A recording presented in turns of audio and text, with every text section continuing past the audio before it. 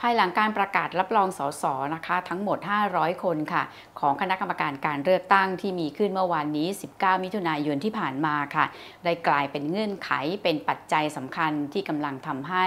ทุกฝั่งทุกฝ่ายต้องเร่งเดินหน้าการเมืองนะคะ เพราะไม่เช่นนั้นค่ะ อาจพาไปสู่สถานการณ์การสุ่มเสี่ยงขึ้นได้ทุกเมื่อค่ะ เนื่องจากตามกรอบของรัฐธรรมนูญแล้วนะคะกำหนดให้ต้องมีการเปิดประชุมสภา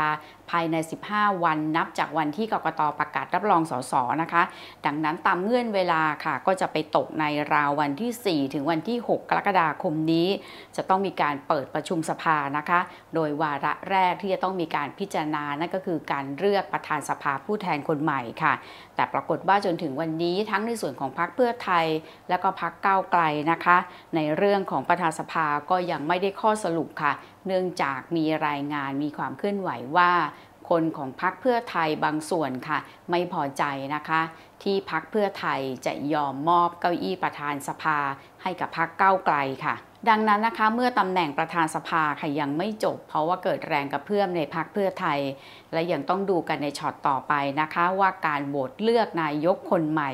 จะออกมามุมไหนค่ะ เพราะว่าวันนี้เองพรรคก้าวไกลนะคะ ก็อาจจะคาดหวังว่าพวกเขาจะได้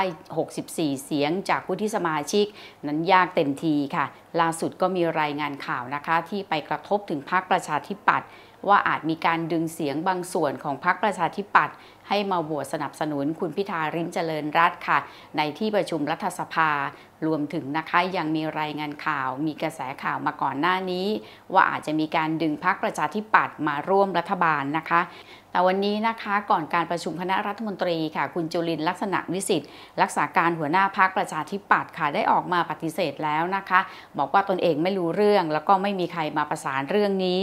ในความเป็นจริงแล้วนะคะ อย่าลืมว่ากระแสข่าวเรื่องดีลลับ ระหว่างสมาชิกพรรคประชาธิปัตย์ค่ะบางส่วนนะคะ เคยเกิดขึ้นมาก่อนหน้านี้แล้วค่ะราวหนึ่งเดือน ภายหลังจากที่มีความชัดเจนค่ะ ว่าพรรคก้าวไกลได้เสียงมาเป็นพรรคอันดับหนึ่งแล้วก็เป็นพรรคแกนนำในการจัดตั้งรัฐบาลนะคะ แต่แน่นอนนะคะว่าแกนนำในพรรคประชาธิปัตย์หลายคน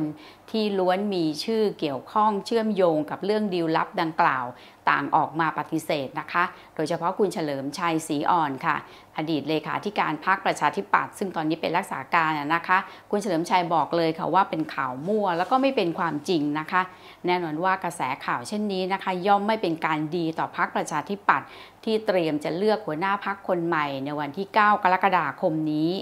ทั้งนี้นะคะกระแสข่าวเรื่องการเปิดดีลลับพักเก้าไกลกับพักประชาธิปัตย์ค่ะ ดูจะเป็นไปได้ยากเต็มทีนะคะ โดยเฉพาะในเวลานี้อาจไม่ใช่เรื่องจำเป็นสำหรับพักประชาธิปัตย์นะคะ เนื่องจากสถานการณ์ของพักเก้าไกล แล้วก็ตัวคุณพิธาเองเนี่ยที่ใกล้ถึงวันเปิดสภาไปจนถึงวันโหวตนายก ก็ดูเหมือนว่าสัญญาณก็ยังไม่บ่งชี้ออกมาในทิศทางที่เป็นบวกมากนัก โดยเฉพาะนะคะกระแสข่าวว่า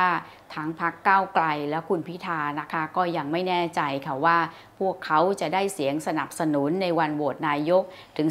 376 เสียงหรือไม่นะคะ และอาจต้องมีการโหวตชื่อคุณพิธามากกว่าหนึ่งครั้งค่ะแต่สำหรับพรรคประชาธิปัตย์นะคะ แม้การเลือกตั้งครั้งล่าสุดที่ผ่านมาพรรคประชาธิปัตย์จะพ่ายการเลือกตั้ง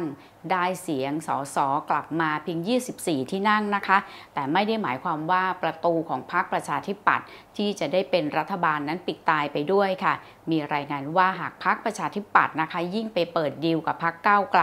ยิ่งจะทำให้พรรคประชาธิปัตย์เสียหายหนักมากขึ้นนะคะ แล้วก็อย่าลืมนะคะว่าวันนี้นะคะยังมีดีลลับ มีตัวละครทางการเมืองที่สำคัญค่ะ นั่นก็คือบิ๊กป้อมพลเอกประวิตยวงสุวรรณรองนายกรัฐมนตรีในฐานะหัวหน้าพักพลังประชารัฐค่ะบิ๊กป้อมกำลังถูกจับตามากที่สุดนะคะ ว่าอาจจะอยู่ในสูตรใดสูตรหนึ่งของการพลิกขั้วในการจัดตั้งรัฐบาล